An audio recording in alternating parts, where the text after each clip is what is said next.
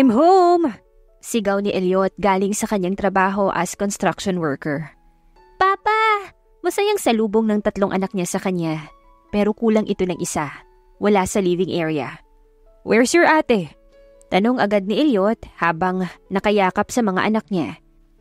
Nasa labas, andon sa mga halaman na tanim niya at pinagmamasdan, saad ng asawang si Briella. Agad naman siyang nilapitan ni Briella at niyakap din. Amoy pawis ako. Iwas ni Elliot, pero si Briella ay hinalikan pa din ng asawa. So what? Kahit anong amoy mo pa, ang sarap mo pa ring tignan. Bulong niya sa asawa. Talaga?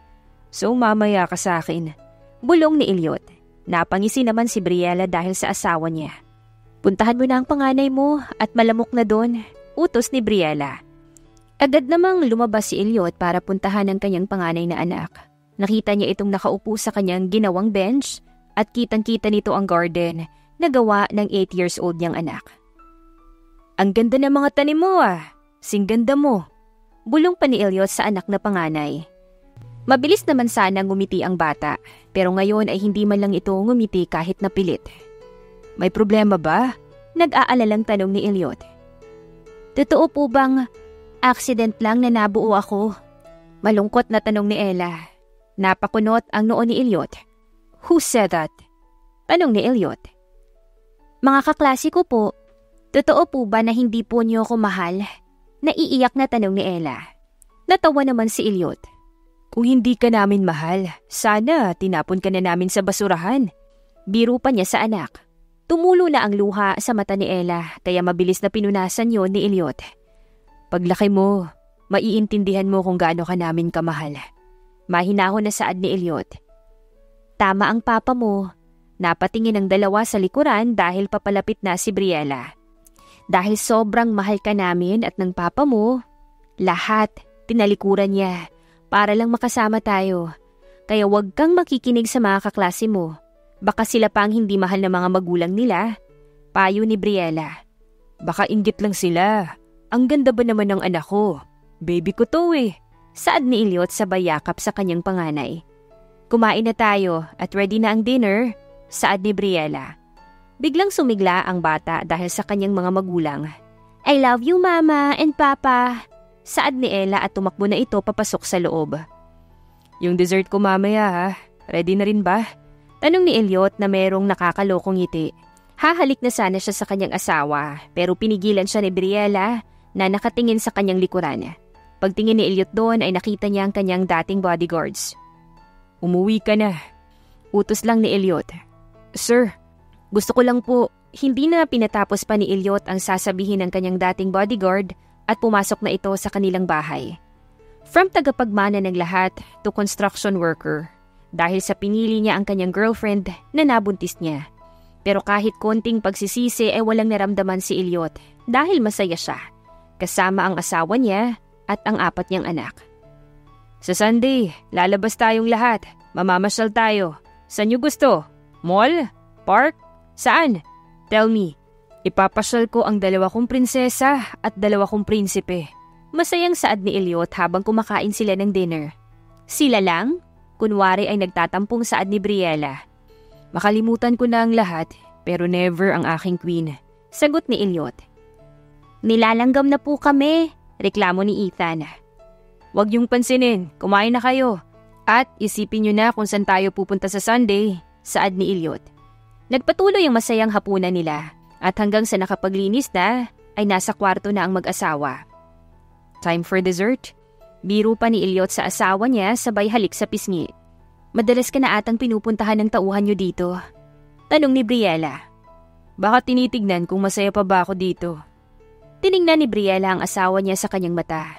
Kita ang pagod nito sa kanyang katawan, pero never niyang narinig na nagreklamo ang asawa niya. Masaya ka pa ba talaga? Tanong ni Briella. Ngisi lang ang sagot ni Elliot at hinalikan ang labi ng asawa. Makakaapat ba tayo kung hindi ako masaya? Bulong niya kay Briella at pinagpatuloy ang paghalik dito. Kinabukasan, sabay-sabay na pumasok si Elliot sa trabaho Si Ella at Ethan naman ay sa school. Papa, totoo po bang sinabi ni Aling Susan na mayaman ka dati? Tanong ni Ella habang nakasakay sila sa bus. Hanggang ngayon naman eh, mayaman ako. Dahil nandyan kayo ng mama nyo at kayo mga anak namin. Sagot ni Eliot. Para kay Eliot na masyado pang bata ang mga anak niya para maintindihan ng lahat. Pagkahatid ni Eliot sa kanyang dalawang anak, ay pumasok na siya sa kanyang trabaho. Pitong taon na rin ang lumipas, simula nang mawala sa kanya ang lahat ng luho at kayamanan. Pero nasa punto na siya na nasanay na siya sa hirap ngayon. Naghahanap ng ibang trabaho si Eliot, pero hanggang wala pa, ay isa muna siyang construction worker para hindi niya mapabayaan ang kanyang pamilya. Nakakapagod ang trabaho, pero pag nakikita niya ang pamilya niya, ay nawawala yon. Oras na ng uwian, pero nang paglabas niya sa site ay merong isang matandang babae ang halos maiyak-iyak na makita siya. Madumi, pagod na pagod. Ang alaga ko! Iyak ni Manang Palin. Ang yaya ni Eliot simula baby pa lang ito. ano pong ginagawa niyo dito? Takang tanong ni Eliot. Pwede ba tayong mag-usap? Maluha-luha na nitong tanong. Kailangan ko na pong umuwi. Umuwi na din po kayo dahil magagabi na po. Saad ni Eliot.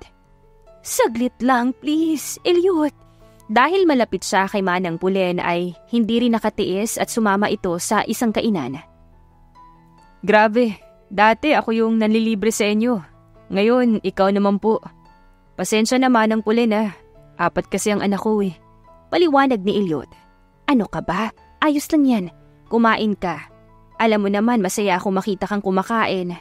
Napabayaan mo na ang sarili mo. Tignan mo yung balat mo. Hindi na pantay-pantay dahil kakabilad mo sa araw. Diyos ko po, bumalik ka na kasi sa mga magulang mo. Grabe naman po, Manang. Here's the tissue. Baka akalain ng mga tao dito inaapi kita. Saka mas uunahin ko ang pangangailangan ng pamilya ko. Kesa sa balat ko po. Saka kulay lang po ang nagbabago. Pero gwapo pa rin ako. Banat ni Eliot. Pasaway ka talagang bata ka. Bakit po ba kayo napunta dito? Miss niyo po ako, no? Magbe-birthday na yung panganay ko. Punta ka manang, ha? Para naman makilala mo sila. Invite pa ni Eliot.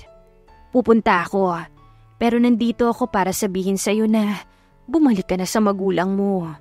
Kailangan ka nila. Yung kapatid mo na si Leo, namimiss ka na rin. Napahinga ng malalim si Eliot, sabay ngiti. Masaya na ako dito. Pasabi na lang kay Leo na kung gusto niya, ay dalawin na lang niya kami ng mga pamangkin niya. Magdala na rin siya ng pasalubong, sagot ni Eliot. Kung babalik ka, hindi mo na mararanasan ang ganyang hirap ikaw ang boss ng business niyo. Lahat ng gusto mo makukuha mo. Saad ni Manang. Ang gusto ko ay buong pamilya ko. Masaya ako. Kayo lang naman ang hindi nakakakita nun eh. Wala akong pinagsisisihan na kahit ano sa ginawa ko. At kung babalik ako sa bahay, tatanggapin ba nila ang pamilya ko? Hindi, right? Binitawan na ni Eliot ang hawak niyang kutsara at tinidor. Uminom na rin siya ng tubig sabay hinga ng malalim. Maraming salamat po sa libre. Kung babalik po kayo dito para lang sabihin na bumalik ako sa bahay, mas mabuti pong kalimutan na lang po natin yung isa't isa. Nakangising saad ni Eliot. Inayos na niya ang kanyang gamit at lumabas na ito. Napansin niya ang bus na papalapit kaya nagmadali si Eliot na tumakbo sa kabilang kalsada para maabutan ng bus. Pero hindi niya napansin ang mabilis na pagsulpot ng kotse sa tinatawiran niya. Huli na bago makapreno ang kotse at nabangga na si Eliot. Ilang meters din ang naabot ng katawan ni Eliot. Naging blurred ang paningin niya at mahinang boses lang ang naririnig niya. Si Eliot! Salitang huli niyang narinig bago mawala ang lahat sa kanya. Si Briella naman sa bahay ay hindi mapakali dahil alas 12 na ng gabi ay wala pa ang asawa niya.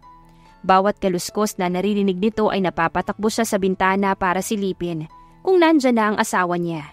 Hindi rin ito sumasagot sa kanyang tawag. Hanggang sa umabot ang liwanag ay wala pa rin. Ang isang araw ay naging isang linggo. At ang isang linggo, naging buwan. At ang buwan ay naging taon. Wala pa ring nababalitaan si Briella kung nasaan na ang kanyang asawa. Hanggang sa naisipan ni Briella na bumalik na lamang siya sa kanyang mga magulang. Yan! Yan ang sinasabi ko sa'yo. Anak mayaman yung ginusto mo. Malamang hindi yan tatagal sa hirap na nakasanayan mo. Ano ka ngayon? Iniwan ka na merong apat na bata. Sermo ni Thelma sa anak. Ano ka ba naman, Selma? Nandyan na. Bumalik na ang anak natin. Tsaka tignan mo naman ang mga apo natin. Ang ganda ng lahi. Kung hindi siya kayang panindigan ni Elliot, ha, tayo na ang tumulong. Gabayan natin ang anak natin. Paliwanag ni Wanso. Buti na lang talaga ang cute ng mga apo ko. Sige na, ayusin niyo na mga gamit niyo. Saad pa ni Thelma sa anak. Thank you, Mama. Naiiyak na saad ni Briella. Simula nang hindi na nakabalik si Elliot, si Briella na ang nagtrabaho para buhayin ang kanyang apat na anak. Pero hindi pa rin nawawala ng pag-asa na balang araw ay babalikan sila ni Elliot. Nagtatrabaho siya bilang isang waitress sa isang restaurant. We, maniwala ako na apat yung anak mo. Sa ganda at sexy mo na yan, malabong may apat na lumabas dyan. Saad ng kanilang manager sa kanya. Totoo po, sir, apat po yung anak ko. Sagot ni Briella. Nang ready na ang pagkain na isi-serve ni Briella, ay agad na niya itong kinuha para maiwan niya ang manager nila na panay ang dikit sa kanya. Isang linggo pa lang si Briella sa trabaho niya pero ang manager nila ay nagpapasikat na kay Briella. Briella, lumayo ka dyan sa manager natin. Check boy yan. Kung alam mo lang kung gaano kababaero yan, walang patawad. Saan ni Princess? Isa sa katrabaho niya. Hindi naman niya ako maluloko, no? Hindi naman ako uto-uto. Sagot ni Briella. Grabe naman kasi ang ganda mo. Totoo ba na apat ang anak mo? Takang tanong din ni Princess. Kinuha ni Briella ang kanyang phone at pinakita ang pictures ng kanyang mga anak. Huwag mong sabihin na hindi ko kamukha ang mga yan. Nakangiting saad ni Briella. Ang gagandang tao! Puri ni Princess sa kanyang kasama. Salamat. Sagot niya. Gwapo din siguro ang asawa mo. Napangiti naman si Briella. Siyempre naman, siya ang pinakagwapo sa lahat. Proud na saad ni Briella kahit hindi niya alam kung nasaan na ito. Pero sa tuwing naaalala niya ang lahat ay bigla na lamang siyang nalulungkot at parang maluluha dahil sa bigla nitong pagkawala. Closing na nila at nag-ayos na sila ng mga gamit. Pagkatapos niya sa trabaho ay naabutan na lang niya ang mga anak na nakatulog na. Pero kahit napagod si Briella, ay naghihintay muna siya na mag alas 12 bago siya matulog. Kahit malabo ay hinihintay niya ang asawa niya na makabalik. Pero wala.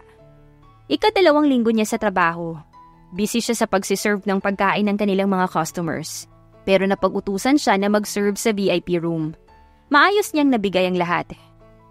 Miss, can you last the ice of my lemonade? Medyo masakit kasi yung lalamunan ko. Mahinahon na utos ng isang magandang babae kay Briella. Sure ma'am, nakangiting sagot ni Briella. Pagkakuha niya ng lemonade ay hindi niya na inaasahan na mayroon palang taong susulpot sa kanyang likuran. Natapon ang lemonade na hawak niya at nabasag ang baso. I'm sorry, saad ng lalaki. Agad na pinulot ni Briella ang mga piraso ng baso. Balak naman siyang tulungan ng lalaking nakabangga niya. Honey, hayaan mo na sila. Baka masugatan ka pa. Saad ng babae sa kanya. Pasensya na po. Paghingi ng sorry ni Briella at umalis na sa room. Agad naman niyang pinalitan ng lemonade at sinerve ito sa VIP room. Pagkalapag niya noon ay napakunot ang noon niya sa nakita niya. Kahit na matagal na panahon na silang hindi nagkikita, ay malinaw pa rin sa alaala ni Briella ang itsura ng kanyang asawa. Miss, okay na kami. Pwede mo na kaming iwan. Biglang umisi ang lalaki at lalong naguluhan si Briella. Gaano ba ako kapogi para madistract ka ng ganito? Tanong ni Elliot sa kanya. Miss, let us eat our food without any discomfort. Thank you. Wala nang nagawa si Briella kung hindi ang umalis, pero hindi naman siya mapakali sa labas. Imposible. Nakamukha niya lang si Elliot. Saad ni Briella sa sarili niya na hindi na siya mapakali. Habang nagtatrabaho siya ay lagi siyang sumisilip sa VIP room kung lumabas na ba ang mga tao doon. Anong sinisilip mo dyan? May tip bang matatanggap? Tanong ni Princess sa kasama. Wala naman.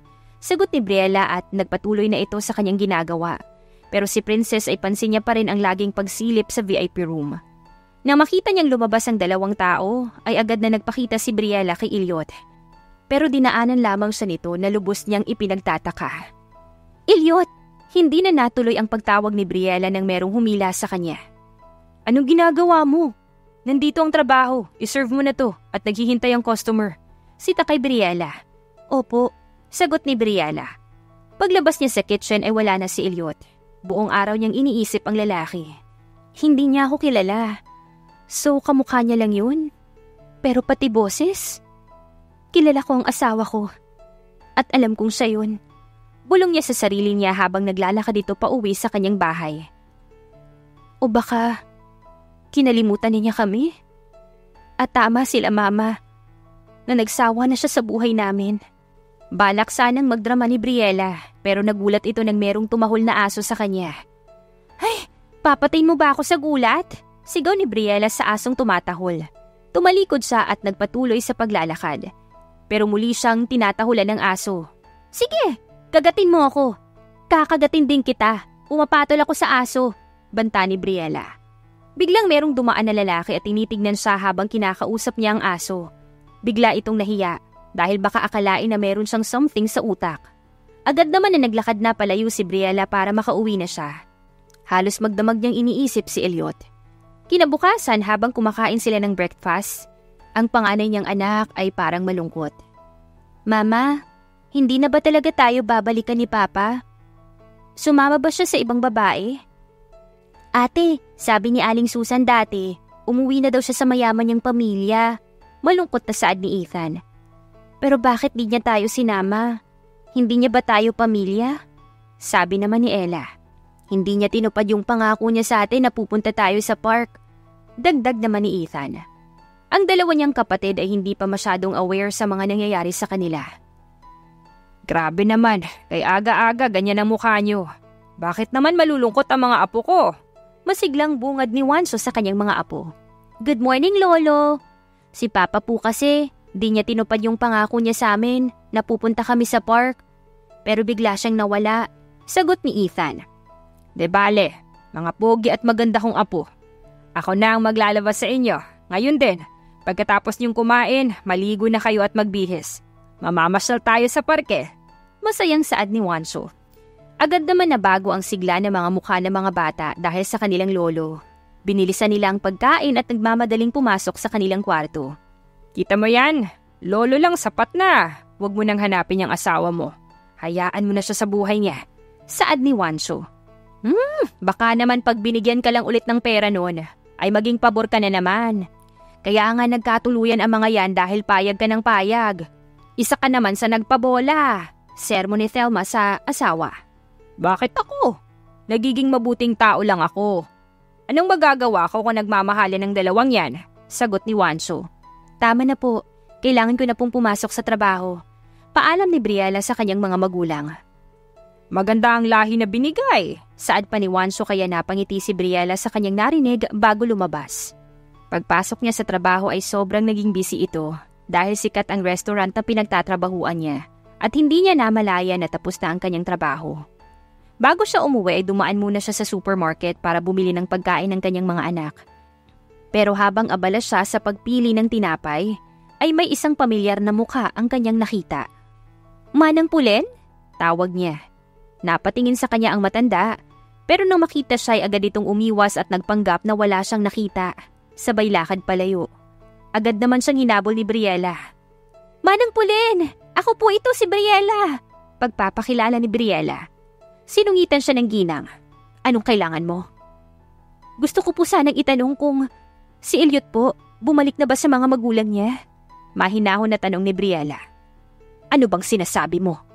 Iniwan niya ang mga magulang niya para sa'yo. Ang yaman, ang maganda, at komportabling buhay ay iniwan niya para sa'yo. Tapos ngayon, magtatanong ka kung bumalik siya? Siyam na taon na hindi umuwi ang alaga ko. Sagot sa kanya sabay alis ng ginang. Oo or hindi lang naman ang sagot sa tanong ko. Bulong niya sa sarili. Pinagpatuloy na lang niya ang ginagawa niya at umuwi. Si Puli naman ay nagmamadaling pumunta sa department store para tignan ng kanyang boss na namimili ng damit. Hindi sa hawak na damit nakatingin si Elliot kung hindi sa taong nasa harapan niya na merong kasamang dalawang bata. Napahawak siya sa kanyang dibdib. Sir Elliot, kailangan na nating umuwi. Nakalimutan niyo po ang isang gamot. Aya ni Pulen. Pero akala ko baka kain na tayo. Tanong ni Elliot. Sir, sa bahay na lang po. Sagot ni Pulen. Huling tingin ang binigay niya sa bata, pero nang umiti at kumaway sa kanya, ay parang meron siyang kakaibang naramdaman. Habang nasa loob sila ng kotse, hindi niya maalis sa isipan niya ang clumsy na waitress at ang mga bata na nakikita niya. Mahilig ba ako sa bata? Tanong ni Elliot. No, ayaw mo ng ingay, magulo. Gusto mo payapa lang ang paligid. Sagot ni Pulen sa kanya. Naguluhan si Elliot dahil ngayon ay gusto niya ang ingay ng mga bata. Pagka uwi ay agad na pumasok sa kwarto niya at nanood ng movie. May isang sanggol na umiiyak doon at biglang sumakit ang ulo niya. Umiiyak na baby habang hawak niya ang nakita niya. Pero malabo ang lahat. Sino yung baby? Tanong ni Elliot sa sarili niya. Kinabukasan, pagbaba niya ay nandoon ang mama at papa niya. Nandoon na rin ang kanyang kapatid at ang babaeng sinasabi nila na fiancé ni Elliot. Good morning, honey. Pinagluto kita ng breakfast mo? Saad ni Angeline. Thank you, honey. Nakangiting sagot naman ni Elliot. Hindi mo pa ba kayang bumalik sa office? Tanong ng mama ni Elliot. Kaya ko na, mama. Sagot ni Elliot. Next week, magsimula ka na. Baka mas makatulong sa'yo na bumalik ang alaala mo. Saad sa kanya. Ngiti lang ang naging sagot ni Elliot at kumain sila. After ng isang linggo ay nakaupo na sa isang swivel chair at isang malaking office. Mabilis naman niyang naintindihan ang kanyang trabaho pero nang sumakit ang ulo niya, ay lumabas siya para magpahangin. Nakakita siya ng parke kaya pumunta siya doon para pagmasdan ang mga bata. Sir, hinahanap na po kayo sa office. Saad ng kanyang sekretary. Papa? Napalingon si Ilyot sa kanyang kanan at merong isang batang babae ang tumatakbo papalapit sa kanya. Napalingon naman siya sa kabilang side dahil baka nakita nito ang kanyang papa. Parang tumigil ang paghinga ni Ilyot nang maramdaman niya ang pagyakap sa kanya ng bata. Papa! Saan ka ba pumunta? Bakit mo kami iniwan? Umiiyak na saad ng bata. Kilala ba kita? Takang tanong ni Elliot. Anak mo po ako. Ako po si Ella, Papa. Iyak ni Ella. Sir, kailangan na po nating umalis. Napakunot ang noo ni Elliot. Papa, please! Huwag mo ulit kaming iwan! Nagmamakaawang saad ni Ella. Bata, hindi mo sa papa. Saad ng sekretary ni Elliot. Biglang dumating ang bodyguard ni Elliot at tinulak yung bata. Huwag mo siyang itulak! Galit na sigaw ni Elliot. Biglang natakot ang kanyang mga tauhan sa kanya. Pinuntahan ni Elliot ang batang babae. Are you okay? Agad siya nitong niyakap at parang gusto niyang maiyak dahil sa yakap na yon. Sir, kailangan na po nating umalis. Aya sa kanya. Tinanggal niya ang pagkakayakap ng bata sa kanya. Baka kamukha ko lang ang papa mo. Hindi kita maalala. Sagot ni Elliot. Tumayo sa at lalong umiyak ang bata na parang ayaw na siyang umalis. Pero kailangan na niyang umalis. Papa! Sigaw ng bata. Napatigil si Elliot at tinignan niya ang umiiyak na bata. Sir, tara na po. Aya sa kanya. Napahinga lang ng malalim si Elliot dahil sa sakit sa puso niya na makitang umiiyak yung bata. Sa bahay naman ni Nabriela ay naabutan niya si Ella na umiiyak. Nakita ko po si Papa, Mama. Hindi daw niya ako kilala. Kinalimutan na niya tayo. Iyak ni Ella. Baka naman kamukha niya lang. Maraming magkakamukha sa mundo, Apo. Imposible naman na hindi ka makilala ng papa mo. Sad ni Wanshu. Malay mo, kinalimutan na sila. At nagpapanggap na nabagok ang ulo at walang maalala pagkatapos anak kanyang anak natin. Saad ni Thelma. Kaya ayokong mapunta sa mayaman tong anak ko. Hindi siya seseryosohin. Halos walang pati ng pag-iyak na maganda kong apo. Saad pa niya sa bayakap kay Ella. Napaisip naman si Briella na baka nakita rin ni Ella yung lalaking nakita niya sa restaurant. Sigurado ka bang papa mo ang nakita mo? Baka naman kahawig lang. Nag-aalalang tanong ni Briella sa kanyang panganay. No, mama. Si papa yung nakita ko. Hindi niya yun kamukha lang. Sagot ng bata. Pinakalma na nila si Ella hanggang sa nakatulog. Patuloy pa rin ang pag-iisip ni Briella. Dapat alamin ko ang lahat. Kung ayaw na niya sa amin ay kailangan pa rin naming malaman ang lahat. Saad sa sarili. Kaso hindi ko alam kung saan ko siya pupuntahan. Malungkot na saad ni Briella. Sinubukan niyang puntahan ang dating bahay ng magulang ni Eliot pero wala ng tao doon at sinabing lumipat na. Day off niya ngayon kaya malaya siyang hanapin ang kanyang asawa. O kamukha ng kanyang asawa. Napagod na si Briella at pumasok ito sa isang convenience store para bumili ng makakain at inumin. Pero habang kumukuha siya ay napansin niya ang isang lalaking nakaupo lang mag-isa habang kumakain ng cup noodles. Ilyot? Bulong niya sa sarili. Balak niyang lapitan pero may isang sumulpot na lalaki sa harapan niya At nabunggo niya yon. Dahilan para matapon ng dala. Pasensya na po. Tinulungan ni Briella na pulutin ang nahulog. Pero nang tumingin siya sa gawin ni Elliot, ay nawala na yon at nakita niya na naglalakad na paalis si Elliot sa labas. Kinalimutan niya na ang gutom at uhaw para lang masundan si Elliot. Mabagal lang ang paglalakad ni Elliot. Si Briella naman ay sinusundan lang ang lalaki. Hapon na rin at medyo malayo sa kalsada ang lugar. Pero malapit lang ito sa pinupuntahan niyang bahay nila Elliot dati. Kailangan ko na siyang kausapin ngayon. Pampalakas sa loob niya.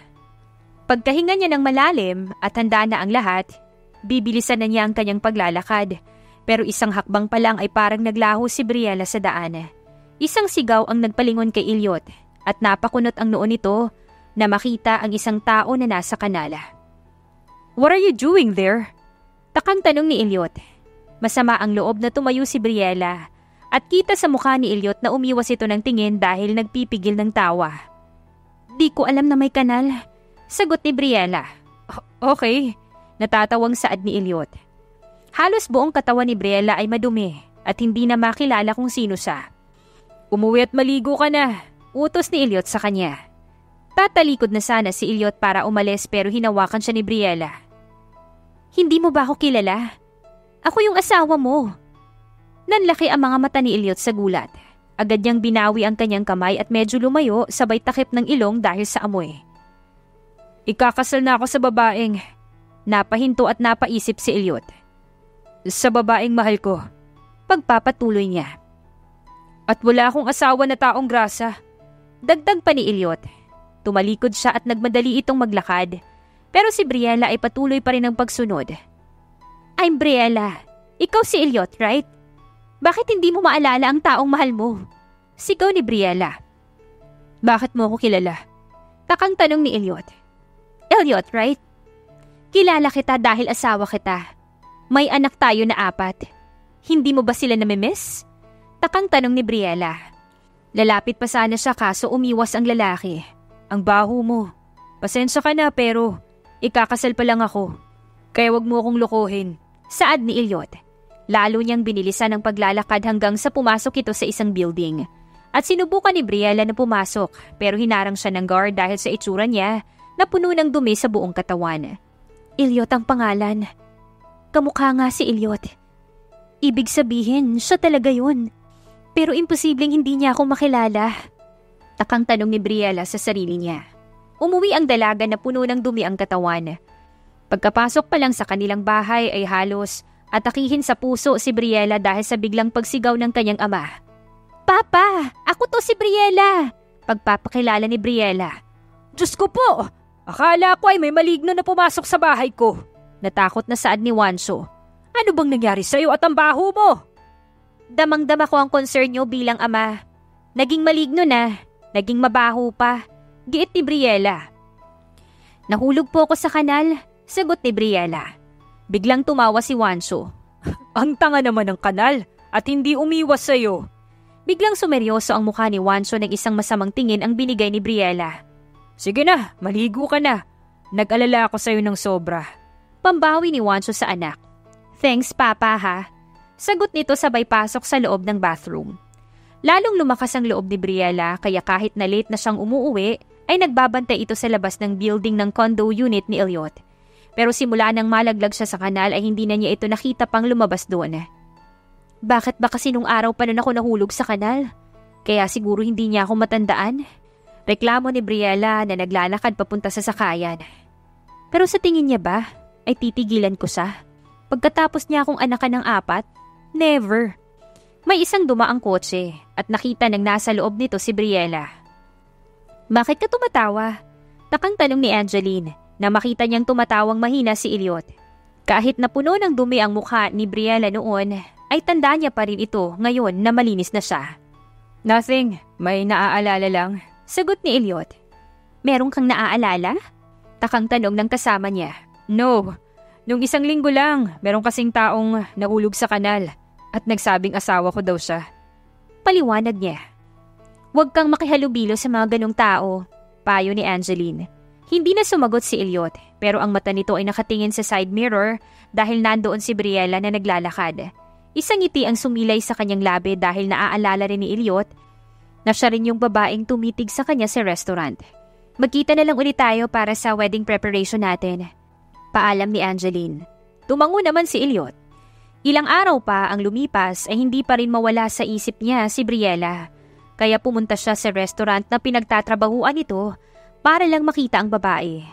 Pero nang pumunta siya doon, wala doon si Briella dahil hindi niya ito nakikita.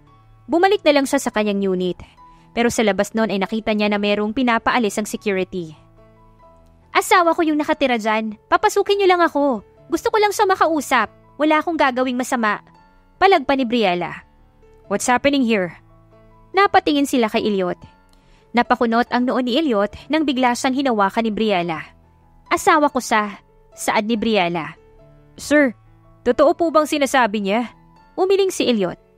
I don't remember her. Clueless na sagot ni Elliot. Bakit di mo ako maalala?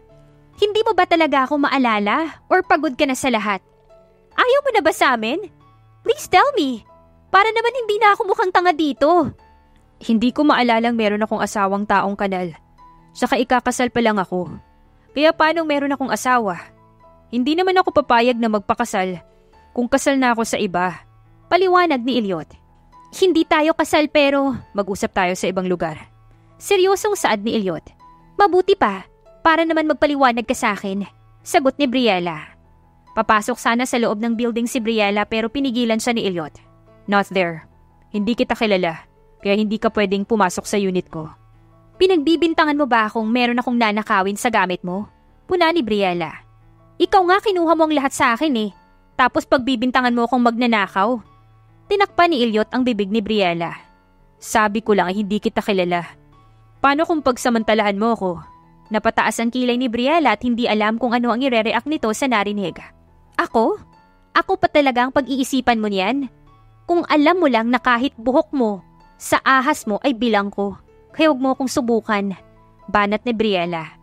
Tumalikod na si Briella at naglakad sa kung saan walang masyadong tao at pwede silang mag-usap ng masinsinan pero hindi naman kalayuan sa building nila. Isang parke lang ito na wala masyadong tao dahil upuan lang ang meron. Anong pangalan ko? Seryosong tanong ni Elliot. Elliot Rodriguez. Mabilis na sagot ni Briella. Sus, alam ng lahat kung sino ako. Sikat ang pamilya ko, kaya hindi ka taka-taka na kilala mo ako. Minsan nga meron pang nagpa-picture sa akin eh, dahil pogi ako. Banat ni Elliot. Tinatanong mo kung sino ka, Sinagot ko ng maayos tapos kukuda-kuda ka? Ano bang kailangan mo sa akin? Ikaw yung kailangan ko. Nangako ka sa mga anak mo. Pero bigla kang naglaho. Sagot ni Briella. Kailangan mo ba ng pera para lang tumigil ka? Oh, I see. Hindi sapat yung sahod mo para sa anak mo. Kaya gusto mong kunin ko ang obligasyon na yon? Nagkasalubong ang dalawang kilay ni Briella. Just tell me, kung kailangan mo pa kami o hindi na. Hindi nga kita kilala. Para ka lang kabuti na lumitaw kung saan at sinabi mo sa akin na asawa kita. Pero ang totoo, ay papakasal pa lang ako at hindi yun sa'yo. Tumango si Briella. Siguro malinaw na to na ayaw mo na sa amin ng mga anak mo. Na ayaw mo na sa buhay natin dati. Kaya bumalik ka sa pamilya mo. Okay lang. Kaya ka naman buhayin ang mga anak mo kahit ako lang. Kesa naman pilitin namin ang sarili namin sa'yo. Paliwanag ni Briella na pinipigilan ang luha. Wala talaga akong maalala about sa'yo at sa anak na sinasabi mo. Saad ni Elliot. Bakit? Nagtatakang tanong ni Briella. Nagising na lang ako. Napatigil sa pagsasalita si Elliot nang merong tumawag sa phone niya. At nang makita niya ang pangalan ng kapatid niya, ay agad niya itong sinagot. What? Anong ginagawa ni mama sa ospital? Gulat na tanong ni Elliot. Hindi na nagpaalam si Elliot at tumakbo ito palayo kay Briella na hindi man lang sinasagot ang tanong ni Briella. What happened to you? Takang tanong ni Briella sa sarili niya. Pagka-uwi niya ay matamlay siya. Nakita naman siya ng kanyang ama na gano'n ang itsura. Oh, ba't ganyan ang itsura mo? Hindi ka naman nahulog sa kanal. Pero mukha kang malungkot. Tanong agad ni Wanso. Nagkausap kami ni Elliot. Pero lagi niyang tinatanggi na kilala niya ako at ang mga anak namin. Malungkot na saad ni Briella. Kung dalhin ko kaya sa kanya ang mga bata para makita niya. Kita mo naman ang reaksyon ni Ella. Nang magkita sila at tinanggi, halos walang humpay ang pag-iyak. Baka masaktan lang sila pag nalaman nila na hindi sila kilala ng papa nila. Sagot ni Wancho. Mas mabuti pang ayusin niyo muna ang sitwasyon bago niyo ilabas sa mga bata. Kaya mo naman siya hinahabol dahil sa mga anak mo, right? Dagdag pa ni Wancho. Tumango si Briella dahil tama ang kanyang ama. Maganda ay ayusin niya muna ang lahat bago niya isama ang kanyang mga anak. Bakit ka maghahabol? Ikaw, Wancho, wag mong turuan niyang anak mo na maging tanga sa lalaki. Eh ano naman kung may anak sila? Sino ba ang nawalan? Ang anak ba natin? Hindi, kaya hayaan niyo siya kung ayaw niya. Nangya siya. Galit na saad ni Telma. Pero dahil alam niya na meron pang something na may tanong na hindi pa nasasagot, ay hindi pa rin titigil si Briella. Kahit nagabi na at pagod si Briella galing sa trabaho ay hindi pa rin siya tumitigil sa pagsunod kay Ilyot. Nakatambay lang siya sa labas ng building ng kanyang asawa. Pero nang makita niya itong bumaba ng kotse, ay pupuntahan sana niya. Pero napatigil siya na makita niyang kasama nito si Angelina. Papasok sila sa loob pero si Ilyot ay nakita niya si Briella. Nagkatitigan silang dalawa. Walang salita ang narinig hanggang sa makapasok sila sa loob. Wala siyang maalala. Dahil iba na ang kasama niya. Saad ni Briella sa sarili niya. Nawala na ng gana si Briella at balak ng umuwi Naglalakad na siya papunta sa sakayan pero nagulat siya nang merong humawak sa kanyang braso. Hingal na hingal si Elliot at pilit na hinahabol ang paghinga nito. Anong ginagawa mo dito? Tanong ni Elliot. Hindi niya nati si Briella na hindi makausap. Dahil simula nang magtama ang tingin nila ay lalong gumugulo ang nararamdaman ni Elliot. Gusto kitang kausapin, pero busy ka pa sa babae mo. Masamang loob na saad ni Briella. Babae ko? Fiancé ko siya. Sagot ni Eliod. Sino naman ako? Nasasaktan na tanong ni Briella. Tinitigan ni Eliot ang babaeng nasa harapan niya. Hindi ko alam kung sino ka. Simula nang magsabi ka na asawa kita, ilang araw ko nang pinipilit na isipin kung sino ka. Pero wala, wala akong maalala na kahit ano. Naguguluhang paliwanag ni Eliot. Bakit wala kang maalala? Bakit ganun mo na lang kami kabilis kalimutan at iwan ang mga anak mo? Nagising na lang ako sa ospital na wala akong maalala. They said, nabangga ako ng isang kotse. Sagot ni Eliot. Ang pagkaburyo ni Briella ay nawala nang marinig ang about sa isang car accident. Na-aksidente ka? Pero bakit hindi ko nalaman? Paano nangyari na walang tumawag o nagpaalaman lang sa akin? Umiling si Eliot. Hindi ko alam. Mabilis na niyakap si Briella. Ang inis at galit at pagtatampo ay nawala nang dahil sa nalaman niya. I'm sorry. Kung alam ko lang, hindi ko talaga alam na merong nangyari sa'yo. Umiiyak na saad ni Briella. Yun din ang tanong ko. Kung asawa kita, bakit hindi mo alam ang nangyari sa akin? Bakit pagising ko si Angeline ang kasama ko? Nasaan ka? Bigla ka na lang naglaho. At hindi ko alam kung saan ka nagpunta. Akala ko napagod ka na sa amin. Sagot ni Briella. Tinanggal ni Ilyot ang pagkakayakap ni Briella sa kanya. Pasensya ka na. Hanggat hindi mo napapatunayan na asawa kita. Isa ka lang babaeng walang parte sa buhay ko. Masakit na saad ni Ilyot. Tinalikuran ni Ilyot si Briella para bumalik na siya sa kanyang unit. Pero si Briella ay hindi na ubusan ng loob. Hinarap niya muli si Elliot at walang sinayang na oras at bigla niyang hinalikan ng kanyang asawa. Kaya kong patunayan ng lahat. Nakangiting saad ni Briella. Bakit mo ko hinalikan? Alam mo bang pwede kitang kasuhan dyan? Banta ni Elliot. Nahalikan ko na lahat ng parte ng katawan mo. Kaya huwag kang umarte dyan. Asawa mo ko. Yan ang isipin mong mabuti. Banat ni Briella. Nilagpasan niya si Ilyot.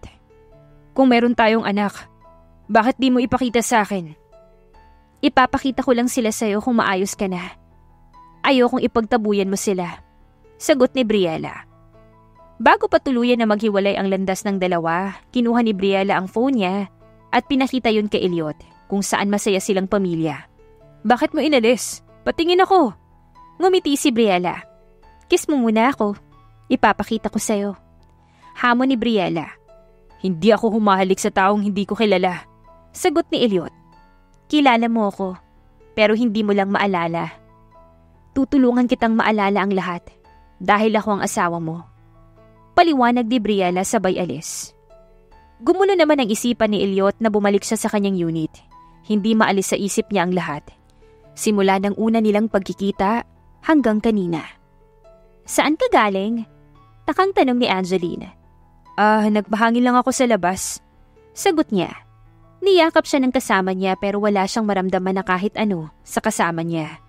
Pero kay Briella ay halos gusto na nitong sumama at makita ang mga batang sinasabi niya. Hindi na makatulog si Elliot at hindi na siya makapag-focus sa trabaho niya dahil patuloy na bumabalik sa alaala niya ang sanggol na hawak-hawak niya.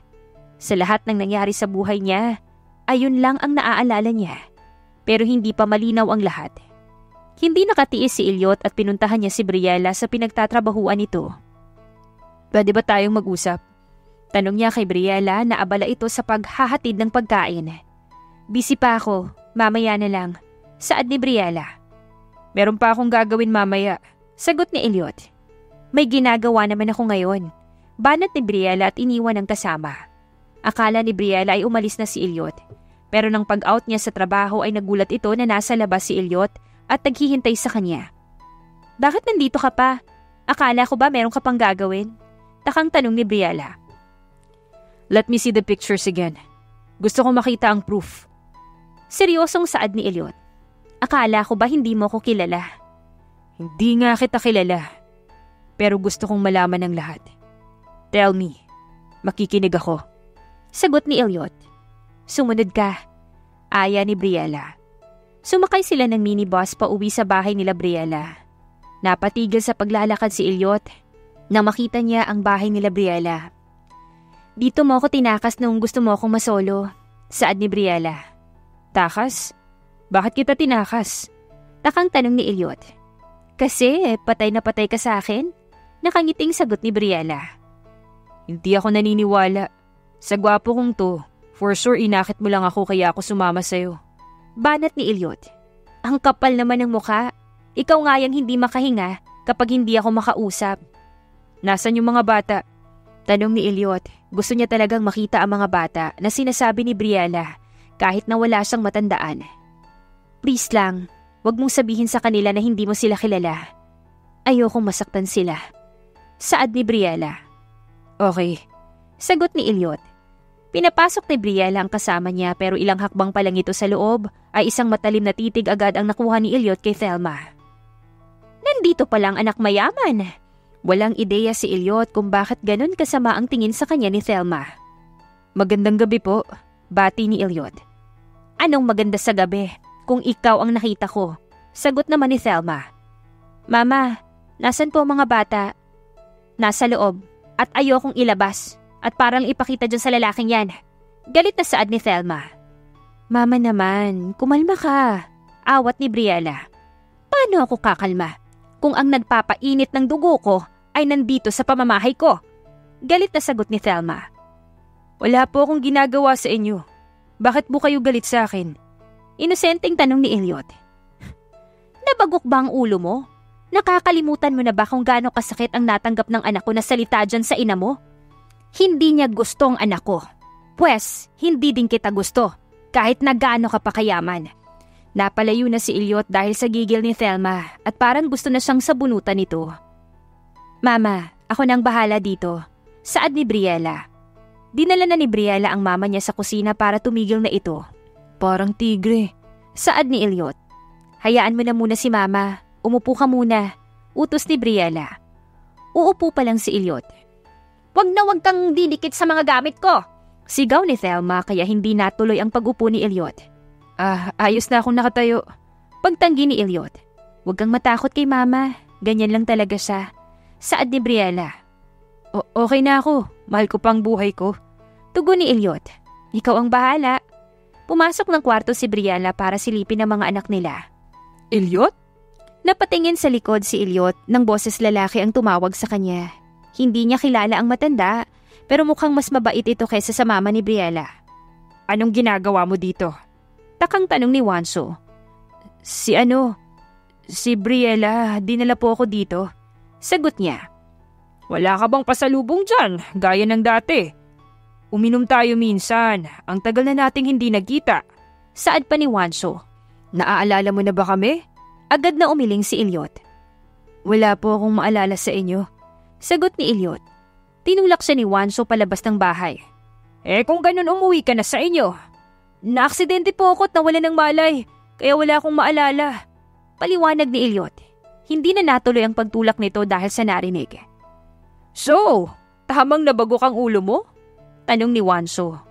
Tumango naman si Ilyot. Pasensya na po at hindi ko po kayo maalala. Ay hindi, pumasok ka ulit sa loob. Hinila ni Wanso si Ilyot papasok sa loob at pinaupo sa kanilang sofa. Kahit ano, wala ka talagang maalala? Intrigang tanong ni Wanso. Hay nako, akala ko pa naman umalis na ang anak mayaman dito sa bahay. Huwag mong sabihin dito ka pakakain ng hapunan ha. Ang kapal naman yata ng mukha mo. Saad ni Thelma. Ang asawa ko naman, walang maalala itong bata na aksidente. Hindi niya gustong kalimutan ng anak natin. Awat ni Wanso. Wala akong pake. Kumukulo ang dugo ko tuwing naaalala ko sa batang yan ang ginawa ng ina niya sa anak natin. Nilapitan ni Wanso ang asawa niya para pakalmahin. Hindi ka ba naaawa? Iniwan niya noon ang pamilya niya para sa anak natin. Hay nako, ngayon iniwan naman niya ang anak natin para sa pamilya niya. Banat ni Thelma. Ma, pa, Please lang, huwag na kayong magtalo at nasa harap na yung mga bata. Saad ni Briella nang lumabas ito sa kanilang kwarto. Papa! Sabay-sabay na sigaw ng mga bata at sabay-sabay din na tumakbo patungo kay Elliot at niyakap ito. Hindi naman makapagsalita si Elliot sa nakikita niya at nararamdaman niya. Walang maalala ang utak niya pero sobrang gaan ng pakiramdam niya sa mga bata. Papa, bakit mo naman kami iniwan? Ang tagal ka naming hinintay. Tanong ni Ethan. Walang masagot si Elliot sa tanong sa kanya. Nagtrabaho ako. Sagot lang ni Elliot dahil nangako ito na hindi sasabihin na wala siyang maalala. Papa, pupunta na ba tayo sa parke? At kakain tayo ng ice cream? At masarap na pagkain? Tanong naman ng panganay nito. Sure, pwede natin gawin yun. Sasabihin ko sa mama niyo kung kailan. Sagot ni Elliot. Maraming tanong ang mga bata kay Elliot pero sobrang nag-e-enjoy si Elliot na makipag-usap sa mga anak niya hanggang sa hindi na niya namalaya ng oras. Naabala na lang siya na makita niyang tumatawag na sa kanya si Angeline at pinapauwi na ito. Magkita ulit tayo ah. Promise, dadaling ko kayo sa parke at kakain tayo ng masarap na pagkain. Masayang pangako ni Elliot. Siguraduhin mo lang natutuparin mo. Parinig ni Thelma. Mauna na po ako. Paalam ni Elliot sa lahat. Nasa labas lang siya ng bahay nila Briella pero namimiss na agad niya ang mga bata. Halos magdadalawang taon na simula nang mawala ang alaala niya. Kung totoo ang lahat, marami akong pagkukulang sa kanila. Saad nga sa sarili niya. Pero kung totoo ang lahat ng sinasabi nila, ibig sabihin, nagsinungaling sa akin ang pamilya ko? Malaking tanong sa isip ni Elliot.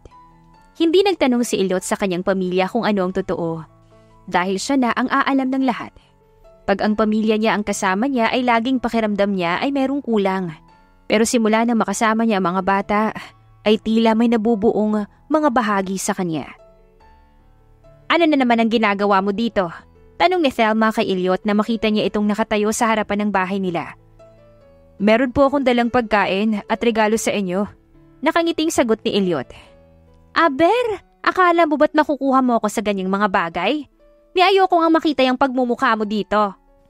Ma, nagpaalam siya sa akin na pupunta siya dito. Lumabas din si Briella na makita niya si Elliot. Day off naman niya kaya meron silang oras. Lola, ipapasyal kami ni Papa sa parke. Sumama ka na po para masaya tayo. Masayang aya ni Ethan. Ayoko, marami pa akong gagawin. Sagot ni Thelma sabay irap kay Elliot. Ay, sa akin mo na lang ibigay yan, iho. Tsaka di na kami sasama para naman makapag-bonding kayong pamilya. Sabat naman ni Wanso. Lumabas na ang apat nilang anak, kasama naman doon si Briella. Sa malapit lamang sila pumunta para doon mamasyal. Hinayaan lang nila na magsaya ang mga bata. Tinupad ni Ilyot ang pangako nito na kumain sila sa labas at mamasyal sa parke. Nakaupo lang ang dalawa sa isang bench habang pinapanood ang kanilang anak. If totoong lahat, can you help me para mabalik ang alaala ko? Tanong ni Ilyot kay Briella. Oo naman, sagot ni Briella. Gusto kong bumalik ang asawa ko. Hindi na nila namalaya ng oras at tumidilim na pala. Oras na para umuwi sila. Papa, bakit po sa ibang bahay ka uuwi? Ayaw niyo po ba kaming kasama? Tanong ni Ella. Ah, kailangan ko kasing magtrabaho. Pag naging okay na ang lahat, Magsasama na rin tayo. Paliwanag na lang ni Ilyot. Pagkahatid ni Ilyot sa mag-iina ay hindi na pumasok pa si Ilyot dahil si Telma ay masama na naman ang tingin kay Ilyot. Papa, bukas pupunta ka ulit? Tanong ni Ella. Huwag kang sumagot kung hindi naman matutupad. Parinig ni Thelma. Bibisita ako bukas. Magdadala ako ng favorite niyong pagkain. Sagot ni Ilyot. Nagtalunan sa saya ang mga bata dahil sa tagal ng panahon na wala si Ilyot ay ngayon bumalik na ang kanilang ama. Pero wala silang kaalam-alam na hindi naman talaga sila kilala nito. Mauuna na po ako, paalam ni Ilyot. Habang nasa biyahe ang lalaki ay biglang sumakit ang ulo nito at ilang alaala ang bumalik pero hindi pa malinaw sa kanya ang lahat. Pinagpatuloy lamang ni Ilyot ang pagdalaw kina Briella. At nang maging free silang lahat, ay dinala ni Briella si Ilyot kasama ang kanilang anak sa dati nilang bahay. Ilyot? Takang tumingin si Ilyot na makita ang isang babae na papalapit sa kanya. Buti naman at nakabalik ka na. Sabi na nga ba eh, hindi ka naman totoong nawala. Nagpapayaman ka lang. Tingnan mo ang kotse mo. Ang gara, lakas makapogi. Napakunot ang noon ni Ilyot dahil hindi niya kilala ang babae. Who are you? Takang tanong ni Ilyot. Aba-aba, napunta ka lang sa Maynila, nakalimutan na niya ako. Pumagit na si Briella sa dalawa. Ah, pagod lang si Elliot kaya hindi kanya nakilala. Saad ni Briella sabay hila sa asawa nito para makapasok na sila sa loob ng bahay. Maliit lang ito at malayong malayo sa kanilang bahay. Sino ang babaeng yun? Bakit kilala niya ako? Walang ideya na tanong ni Elliot. Papa, siya yung chismosa dito. Lagi niyang chinichismis na mayaman ka daw. Tapos, yung nanay mo masama yung ugali. Tsaka sabi niya dati, nung nawala ka, patay ka na. Si Aling Susan talaga chismosa. Saad ng panganay na anak nila. Ella, pumunta na muna kayo sa kwarto niyo at magpahinga. Awat ni Briella sa anak. Natawa naman si Elliot kay Ella dahil walang kontrol ang bibig nito. I like her attitude. Sa'yo nagmana yan. Sagot pa ni Briella. Me? Why me? I'm totally silent. Tanong ni Elliot. Natawa si Briella dahil sa kanilang dalawa ay si Elliot naman talaga ang mas makulit. Bakit ngumingiti ka lang? Bakit di mo sabihin sa akin? Umiling si Briella habang tumatawa nang maalala niya ang kalokohan ng asawa nito. Tell me, sabi mo tutulungan mo akong bumalik yung alaala ko. Oo nga, kaya nga tayo andito para maalala mo kung saan natin binuo ang lahat. Sagot ni Briella sabay ayos ng kanilang gamit. Si Elliot naman ay tinitingnan ang lahat ng bagay hanggang sa lumabas siya sa my garden. Simula nang umalis tayo, wala nang dilig yung mga halaman ko. Malungkot na saad ni Ella. Tanim mo ang mga yan? Papa, tanim natin to. Sabi mo mana ka kay Lola. Tapos ako, mana ako sa'yo, kaya mahilig din ako sa halaman. Sagot ni Ella na nagdidilig ng halaman niya. Napaupo sa bench si Elliot nang biglang sumakit ang ulo niya. Papa, are you okay?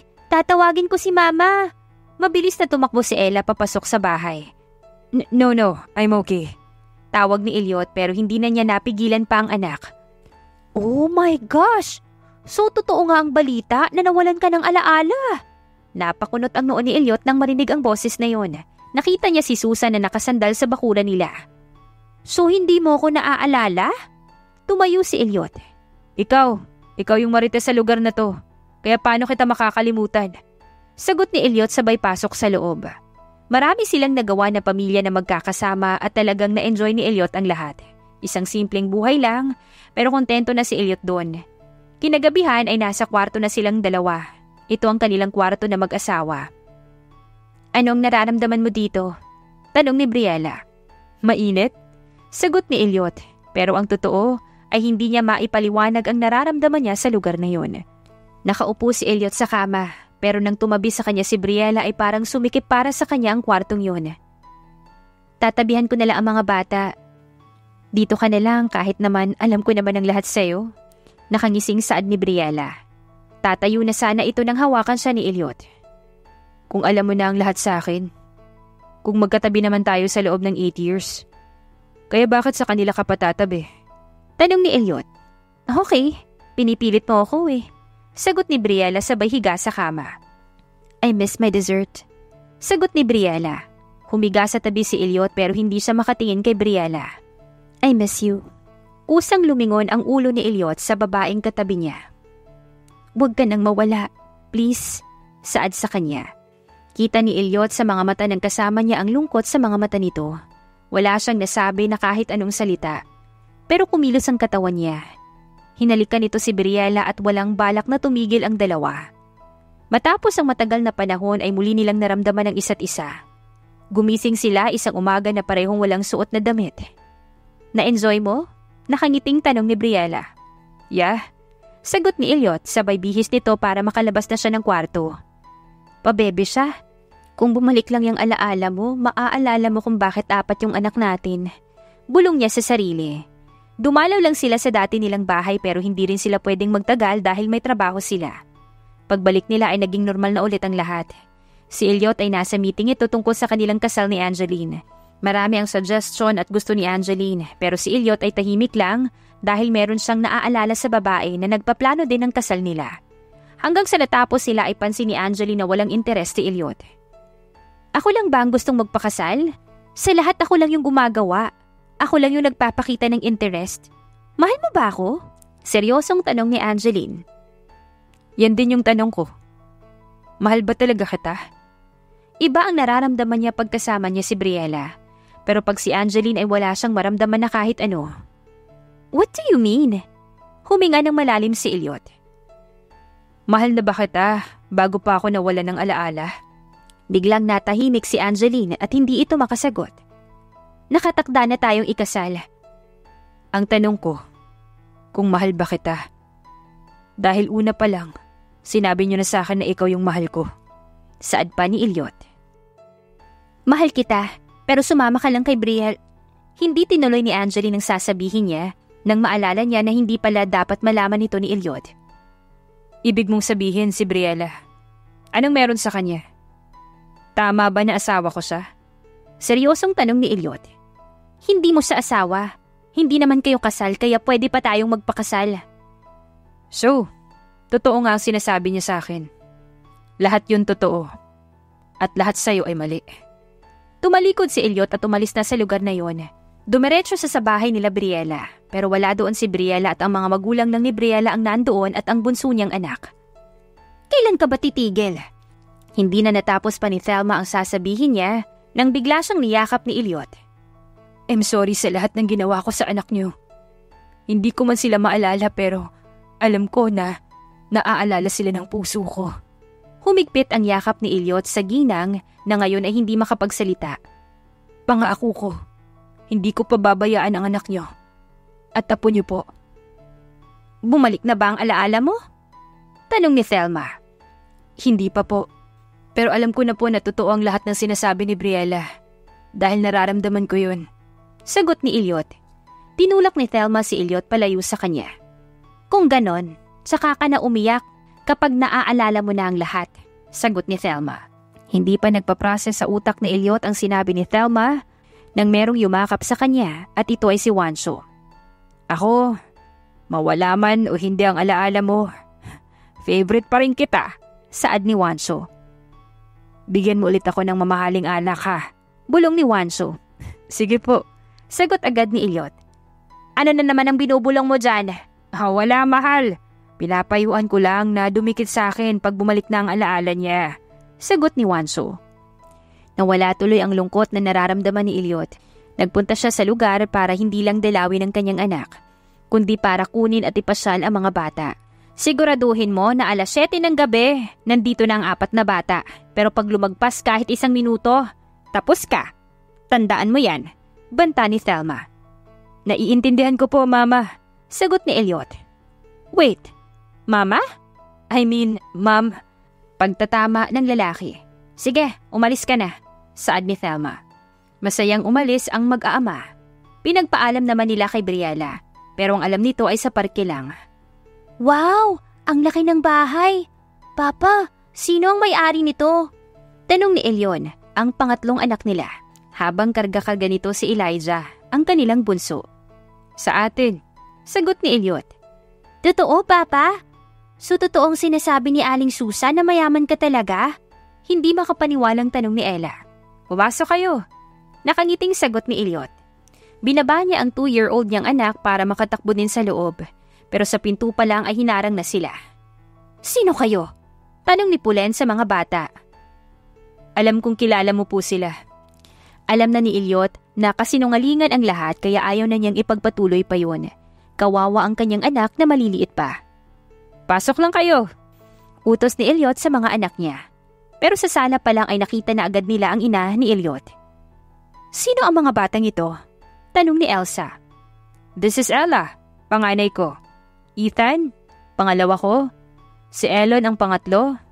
Hindi pa nasasabi ang pangalan ni Elijah ay biglang yumakap ang bata sa binti ni Elsa. Elijah! Masayang saad ng bata.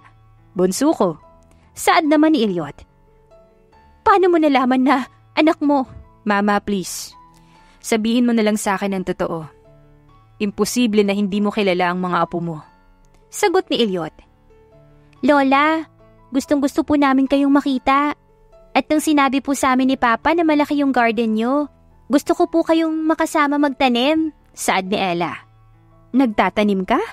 Tanong ng ginang. Mabilis na tumango ang bata sa kanya. Super ganda nyo po. I miss you, Lola. Saad naman ni Ethan sa bayakap sa ginang. Agad na sumunod ang iba dahilan para maging speechless si Elsa. Nang maramdaman niya ang yakap na yon ay may kakaibang kirot ang naramdaman ng kanyang puso. Hanggang sa nagtagal ay nakikipaglaro na ang ginang sa mga bata. Sobrang galak niya at lalo pa ay galing siya sa ospital dahil sa stress. Pero ngayon, kasama ang mga bata ay sobrang saya niya. Mama, kailangan ko na silang ibalik. Hahawakan na sana ni Elliot ang kamay ng anak. Malaki naman ang bahay. Dito na lang sila matulog. Right, kids? Bukas magsha-shopping tayo sa mall at lahat ng gusto nyo, bibilhin natin. Masayang saad ni Elsa. Mama, iuuwi ko muna sila. Hinahanap na sila ni Briella. Sagot ni Elliot. Then call her. Tell her na dito matutulog ang mga apo ko. Sagot ni Elsa. Wala nang nagawa pa si Elliot kung hindi ang tawagan si Briella. Walang problema. Basta, bantayan mo lang sila ng maayos ha. Sagot ni Briella. Ngayon niya naintindihan kung bakit niya pinagpalit ang lahat para kay Briella kahit na wala siyang maalala ngayon. Nang makatulog na ang mga bata ay pinuntahan siya ni Elsa. Itutuloy mo pa rin naman ang kasal niyo ni Angeline, hindi ba? Napakunot ang noon ni Elliot. Walang kasal na matutuloy, Mama. Sagot ni Elliot. Ano naman ang masama? Pwede mong kunin ang mga anak mo kay Briella at ako na ang baha- walang kasal na matutuloy. Sagot ni Elliot at tinalikuran niya ang kanyang mama. Pumasok na siya sa kanyang kwarto. Tinignan niya ang picture nila ni Briella na binigay sa kanya ni Briella. Napahawak sa ulo si Elliot nang biglang sumakit ang ulo niya. At parang meron siyang naririnig na boses sa kanyang ulo. Hiwalayin mo na siya. Pera lang ang habol niya sa'yo. Sigurado ka bang sa'yo ang batang yan? Ilan lang yan sa mga naririnig niya. Lalabas sana siya ng kwarto para humingi ng tulong at hindi na niya kaya pang sakit. Pero bigla na lamang nag-blackout ang lahat. Papa, Anong ginagawa niyo dito sa sahig? Unang dilat niya pa lang ay panganay na niya ang nakita niya. Ella? Tawag ni Ilyot. Napatingin siya sa kanyang katawan dahil naaalala na niya ang lahat. Isang mahigpit na yakap ang binigay niya sa kanyang mga anak dahil doon. At si Briella agad ang iniisip niya. Aalis na tayo. Aya ni Ilyot sa mga bata. Nagmamadali silang maglakad palabas. Pero nang makita sila ni Elsa, Saan kayo pupunta? Aalis kami ng mga bata ngayon para mag-shopping. Hindi tumingin si Elliot sa kanyang ina at diretso lang ito na naglakad. Elliot, saan ka pupunta? Dahil hindi sumagot si Elliot ay hinabol siya ni Elsa at pinigilan siya nito. I know everything. At mali ako na dinala ko dito ang mga anak ko. Sagot ni Elliot bago ito umalis. Pagdating ni Elliot sa bahay nila Briella ay agad niyang niyakap ang asawa. Bumalik na tayo sa dati nating bahay. Aya ni Elliot kay Briella na totally nagtataka. Kunot noo ang nagawa ni Briella. Bumalik na ang lahat. Saad ni Ilyot. Nanlaki naman ang mga mata ni Briala sa gulat at muli siyang yumakap sa asawa niya. Ako na ulit ang magtatrabaho sa atin. Bumalik na tayo. Anong bumalik? Itatakas mo na naman ang anak mo sa amin? Bakit? Tutol pa ba kami? Banat ni Thelma. Wala na akong magagawa kung hindi tanggapin ang lahat. Dito na lang kayo para kasama ko pa rin yung mga apo ko. Kalmadong saad ni Thelma. Hindi na inisip pa ni Elliot ang takot niya kay Thelma at agad na niya itong niyakap. Thank you, Mama. Masayang saad ng lalaki. Naging okay naman ang lahat, pero nang lumipas sa mga araw ay pabalik-balik naman si Elsa sa bahay nila Thelma para kausapin ang anak. Pero matigas pa rin si Elliot. Hanggang sa lumipas ang dalawang buwan, gumawa ng paraan si Elsa para lang makausap ang anak. Kung paghiwalay niyo kami, pasensya na. Hindi mangyayari yon. Saad ni Elliot sabay talikod at maglalakad na sa palayo. Hindi ko kayo paghihiwalayin. Hindi pa kayo kasal. Bakit hindi kayo magpakasal na dalawa? At bumalik ka sa company. Offer ni Elsa sa anak. Hindi mo lang alam pero pinapahiram sa akin ni Briella ang mga bata at binabalik ko rin sila kaagad. Napamahal na ako sa kanila dahil alam kong tunay ko silang apo. Huwag na kayong lumayo at mabuhay tayo ng isang pamilya. Paliwanag ni Elsa. Papa! Sigaw ng panganay ni Elliot. Anong ginagawa niyo dito? Nagmall po kami kasama si Lola. Nilapitan ni Elsa ang anak. Ayoko nang mawala ka pa ulit sa amin. Dama ko ang kabaitan ni Briella kaya masasabi ko na tama ang desisyon mo na pinili mo sa yung kasal na gagawin dapat next month. Gusto kong matuloy yun. Pero hindi na kay Angeline, kung hindi kay Briella. Hinawakan ni Ilyot ang noo ni Elsa. Wala ka bang sakit, Mama? Or baka meron ka lang nakain na hindi maganda? Takang tanong ni Ilyot. Tatanggapin mo ba ang offer ko or hindi? Hindi na sumagot si Ilyot at agad niyang niyakap ang kanyang ina.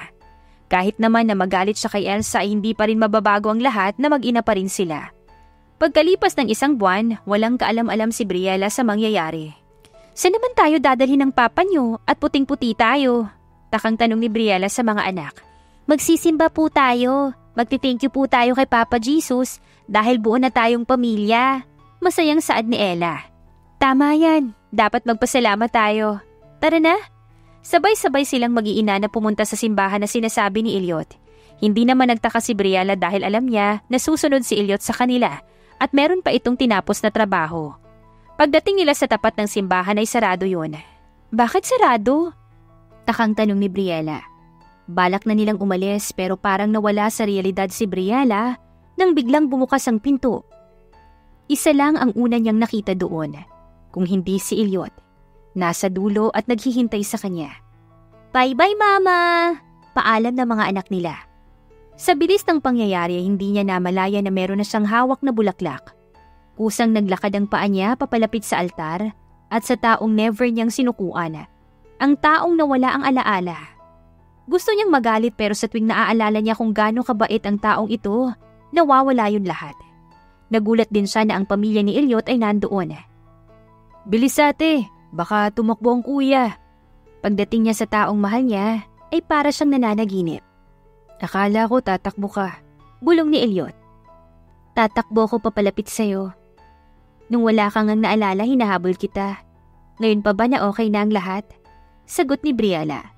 Nagsimula ang misa hanggang sa natapos ito. Lahat ay masaya. Walang tutol sa lahat. Sige na, umalis na kayo. Kami nang bahala sa apo namin. Saad ni Elsa sabay tingin kay Thelma. Baka magsabong pa kayo ha. Biro ni Briella.